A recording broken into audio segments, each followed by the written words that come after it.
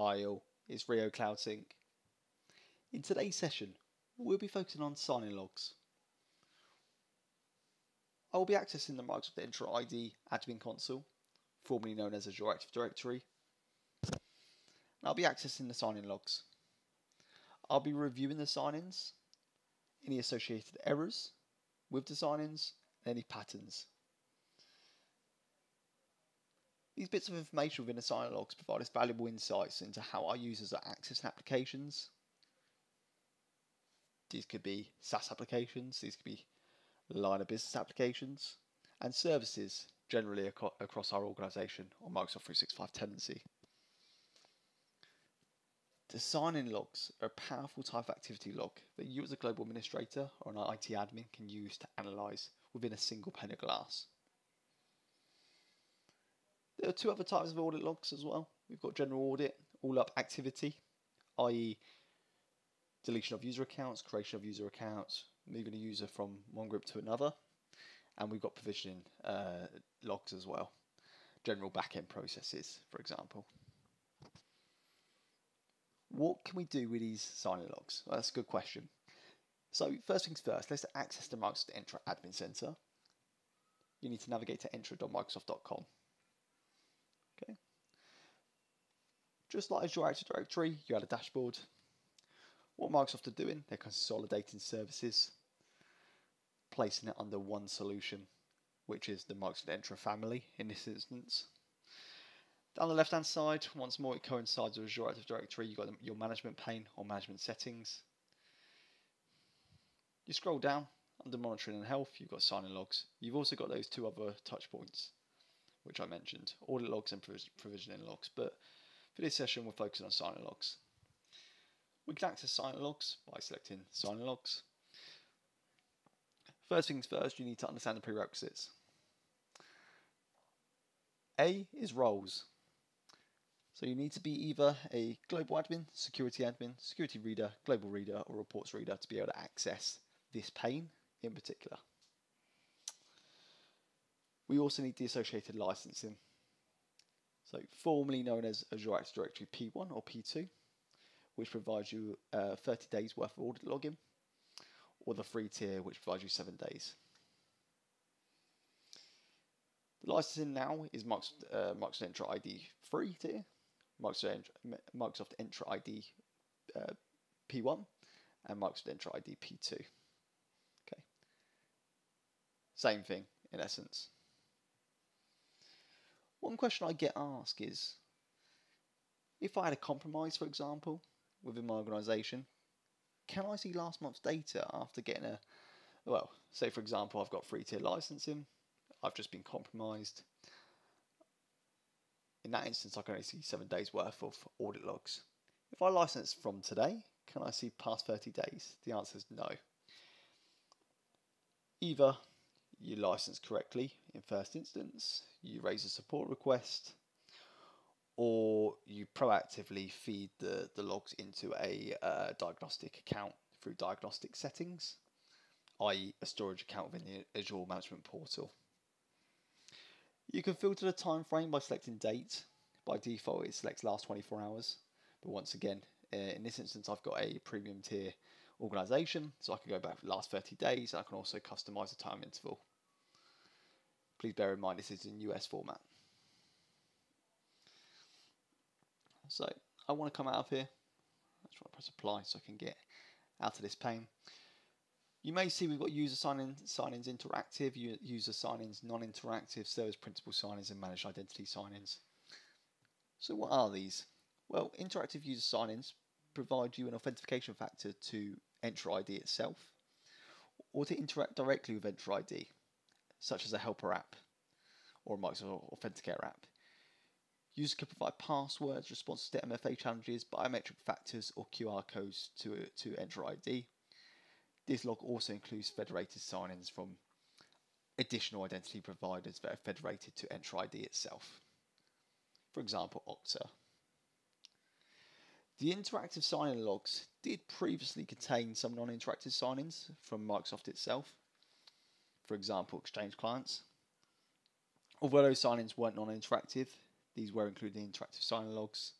uh, for additional visibility, but these are now moved back to non-interactive, just as an FYI. We do have service principal logs and managed identity sign-in logs, but I won't be digging into these in this session. One thing you can do, these columns are customizable. For privacy reasons, I've removed the IPv4 address, which is usually visible uh, by default. Okay, however, you can add or remove the columns as you may wish. You can come into here and add any applicable to you. Maybe you are conducting an investigation for a compromised account. Maybe you're just generally looking at what people are doing, where they're at. Most of us in a hybrid situation in terms of working from home, maybe on a, a set rota or permanently. We need to understand when people are signing in and when they're signing out. You can add and customize these columns as you may wish.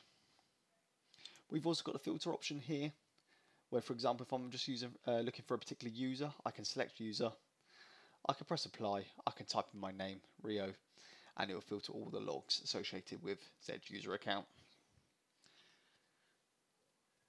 you can export the sign logs by pressing download you've got an option from JSON or CSV and it may give you a bit more of a customization uh, doing it through a Excel workbook for example you can create create filters yourself and visualize it in in in in the way you want to visualize it in terms of your organization. Sign logs are not instant. They do take a good five to ten minutes just to propagate through. So just just bear that in mind.